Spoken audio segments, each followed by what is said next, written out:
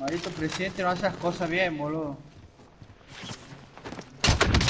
Maldito Fer, no, hay gente aquí. No, no, no, no, no. Alto.